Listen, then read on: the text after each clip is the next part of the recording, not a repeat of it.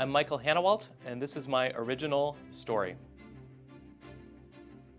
The FSU Chamber Choir has been accepted to perform at the 2023 NCCO convention in Atlanta, Georgia. This is a national convention uh, by the National Collegiate Choral Organization, for which Chamber Choir was selected by blind audition uh, to represent Florida State University and perform alongside a number of other choirs at this convention of collegiate choral educators.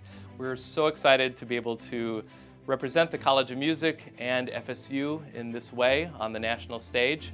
And we're performing a piece entitled The Notebooks of Leonardo da Vinci by Minnesota composer Jocelyn Hagen.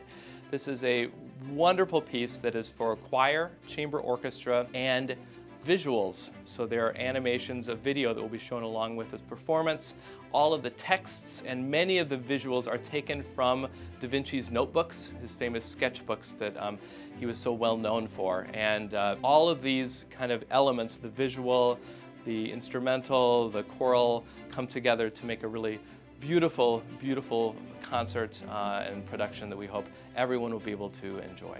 I think one of the things that I cherish the most as a memory from my time here as a student is quite frankly the, the friendships that I formed with my colleagues in the graduate conducting program who I still talk to regularly to this day and I'm so grateful to have been a part of an environment that encouraged that kind of collaboration and encouraged those relationships to, to form and relationships that could nurture me as I went ahead with my own career. Um, it's been an incredibly buoying um, experience to have that network of people around me, and that was all really fostered here at FSU, and I'm incredibly grateful for that.